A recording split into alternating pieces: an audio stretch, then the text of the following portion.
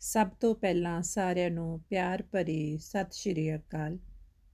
ਮੈਂ ਉਮੀਦ ਕਰਦੀ ਹਾਂ ਤੁਸੀਂ ਸਾਰੇ ਠੀਕ ਹੋਵੋਗੇ। ਅੱਜ ਆਪਾਂ ਇੱਕ ਨਵੀਂ ਕਹਾਣੀ ਲੈ ਕੇ ਫਿਰ ਤੋਂ ਹਾਜ਼ਰ ਹੋਏ ਹਾਂ। ਡੱਡੂ ਤੇ ਸੱਪ। ਇੱਕ ਵਾਰ ਦੀ ਗੱਲ ਹੈ, ਇੱਕ ਨਦੀ ਵਿੱਚ ਇੱਕ ਡੱਡੂ ਰਹਿੰਦਾ ਸੀ। ਨਦੀ ਦੇ ਕੋਲ ਝਾੜੀਆਂ ਵਿੱਚ ਇੱਕ ਸੱਪ ਵੀ ਰਹਿੰਦਾ ਸੀ। ਦੋਨੋਂ ਗੂੜੇ ਦੋਸਤ ਸਨ।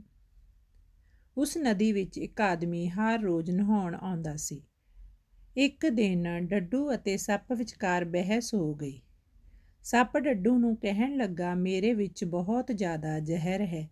ਮੈਂ ਜਿਸ ਨੂੰ ਵੀ ਕੱਟ ਲਵਾਂ, ਉਹ ਮਰ ਜਾਵੇਗਾ ਡੱਡੂ ਕਹਿੰਦਾ, ਨਹੀਂ, ਮੇਰੇ ਵਿੱਚ ਬਹੁਤ ਜ਼ਿਆਦਾ ਜ਼ਹਿਰ ਹੈ। ਜਿਸ ਨੂੰ ਮੈਂ ਕੱਟ ਲਵਾਂ, ਉਹ ਮਰ ਜਾਵੇਗਾ ਇਸ ਤਰ੍ਹਾਂ ਦੋਨਾਂ ਵਿੱਚ ਬਹੁਤ ਬਹਿਸ ਹੋਈ। ਬਹਿਸ ਕਰਨ ਤੋਂ ਬਾਅਦ ਉਹਨਾਂ ਨੇ ਇਹ ਫੈਸਲਾ ਲਿਆ ਕਿ ਜੋ ਆਦਮੀ ਹਰ ਰੋਜ਼ ਨਦੀ ਵਿੱਚ ਨਹਾਉਣ ਆਉਂਦਾ ਹੈ, ਉਹ ਵਾਰੀ-ਵਾਰੀ ਉਸ ਨੂੰ ਕੱਟਣਗੇ ਤੇ ਦੇਖਾਂਗੇ ਕਿਸ ਵਿੱਚ ਜ਼ਿਆਦਾ ਜ਼ਹਿਰ ਹੈ।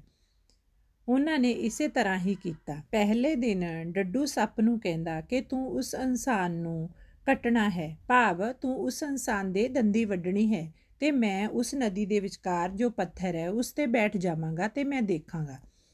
ਇਸੇ ਤਰ੍ਹਾਂ ਹੀ ਹੋਇਆ। ਸੱਪ ਨੇ ਮਨੁੱਖ ਦੇ ਦੰਦੀ ਵੱਢੀ ਤੇ ਡੱਡੂ ਉਸ ਪੱਥਰ ਤੇ ਆ ਕੇ ਬੈਠ ਗਿਆ। ਜਦੋਂ ਉਸ ਇਨਸਾਨ ਨੇ ਉਸ ਡੱਡੂ ਨੂੰ ਦੇਖਿਆ ਤਾਂ ਕਹਿੰਦਾ, ਲੈ, ਮੈਨੂੰ ਡੱਡੂ ਨੇ ਕੱਟ ਲਿਆ। ਇਹ ਤਾਂ ਕੋਈ ਵੱਡੀ ਗੱਲ ਨਹੀਂ ਹੈ। ਤੇ ਉਹ ਆਰਾਮ ਨਾਲ ਨਹਾਉਣ ਲੱਗ ਗਿਆ। ਅਗਲੇ ਦਿਨ ਫਿਰ ਉਹ ਇਨਸਾਨ ਨਦੀ ਤੇ ਨਹਾਉਣ ਆਇਆ। ਤਾਂ ਡੱਡੂ ਕਹਿੰਦਾ ਕਿ, ਅੱਜ ਮੇਰੀ ਵਾਰੀ ਹੈ। ਮੈਂ ਉਸ ਇਨਸਾਨ ਨੂੰ ਕੱਟਾਂਗਾ ਤੇ ਤੂੰ ਉਸ ਪੱਥਰ ਤੇ ਬੈਠ ਕੇ ਦੇਖੀ ਕਿ ਉਹ ਮਰਦਾ ਹੈ ਜਾਂ ਨਹੀਂ। ਇਸੇ ਤਰ੍ਹਾਂ ਹੀ ਹੋਇਆ।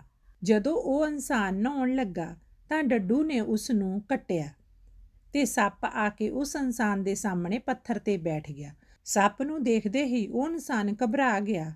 ਹਾਏ, ਮੈਨੂੰ ਤਾਂ ਸੱਪ ਨੇ ਕੱਟ ਲਿਆ, ਹੁਣ ਮੈਂ ਬਚਣਾ ਨਹੀਂ ਹੈ। ਉਹ ਸੱਪ ਨੂੰ ਦੇਖਦੇ ਸਾਰੇ ਹੀ ਮਰ ਗਿਆ। ਉਸ ਤੋਂ ਬਾਅਦ ਡੱਡੂ ਬਾਹਰ ਨਿਕਲਿਆ ਤੇ ਸੱਪ ਨੂੰ ਕਹਿੰਦਾ, ਦੇਖਿਆ, ਕਿਸ ਵਿੱਚ ਜ਼ਿਆਦਾ ਜ਼ਹਿਰ ਹੈ? ਮੇਰੇ ਕੱਟਣ ਨਾਲ ਉਹ ਆਦਮੀ ਮਰ ਗਿਆ ਹੈ, ਜਦੋਂ ਕਿ ਤੇਰੇ ਕੱਟਣ ਨਾਲ ਉਸ ਨੂੰ ਕੁਝ ਵੀ ਨਹੀਂ ਹੋਇਆ। ਇਸ ਕਹਾਣੀ ਤੋਂ ਸਾਨੂੰ ਇਹ ਸਿੱਖਿਆ ਮਿਲਦੀ ਹੈ ਕਿ ਸਾਨੂੰ ਪੋਜ਼ਿਟਿਵ ਸੋਚ ਰੱਖਣੀ ਚਾਹੀਦੀ ਹੈ। ਸਾਨੂੰ ਸਕਾਰਾਤਮਕ ਸੋਚਣਾ ਚਾਹੀਦਾ ਹੈ। ਜਦੋਂ ਅਸੀਂ 네ਗੇਟਿਵ ਸੋਚਦੇ ਹਾਂ ਜਾਂ ਨਕਾਰਾਤਮਕ ਸੋਚਦੇ ਹਾਂ, ਤਾਂ ਉਸ ਦਾ ਅਸਰ ਸਾਡੇ ਸਰੀਰ ਤੇ ਪੈਂਦਾ ਹੈ।